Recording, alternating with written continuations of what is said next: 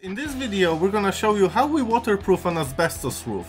The very first step is cleaning of the roof. Now in order to clean the roof we use a specialized equipment in combination with a filtration system. So all the water that falls down the gully needs to be filtered.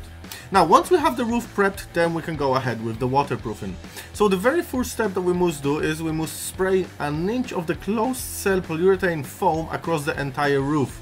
This seals all the imperfections and all the gaps. Then when we have that done, then we spray the polyurea across the entire roof. Now the polyurea is incredibly tough, incredibly strong and incredibly flexible at the same time.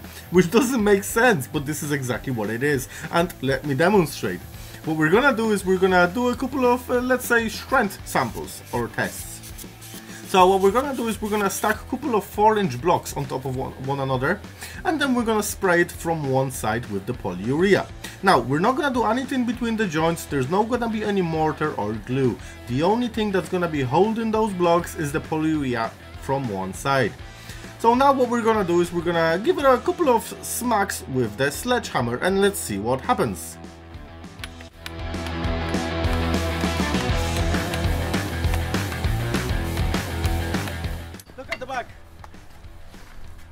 Not a scratch on it. There is not even a scratch on it.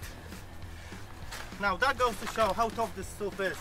One of the lads applying the closed cell foam onto the asbestos at about an inch thick. And then we have another lad out the back applying the polyurea right on top of it. As you can see the overlaps on the joints is where the asbestos roof usually leaks. But see what happens when we apply the closed cell expanding foam to it.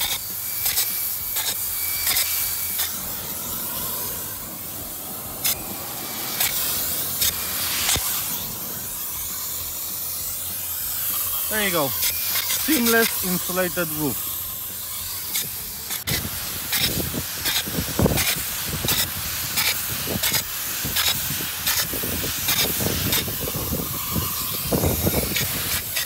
So maybe a couple of words about this gigantic roof that we're doing here. The gentleman who owns this property here, he actually got a couple of quotes, alternative quotes let's say. One of them was for removing the roof and replacing it with a Kingspan roof. So the quote was twice as much more than what, than what we priced and they said that they would have to close the factory for seven weeks of work and this company couldn't have that. So this system is perfect for a company owner who cannot close the factory for the times of work. This is where this is where this system wins. If anybody has any questions or would like to receive a quote, all you have to do is contact us on the number below, send us your Eircode, address, the name of the company, your name, and we will be able to provide quotation on the basis of Google Maps. So we don't actually have to come out to you to quote it. Now that quotation will be subjected to an actual site visit. This, this is just a roof idea. Okay, thank you and see you soon.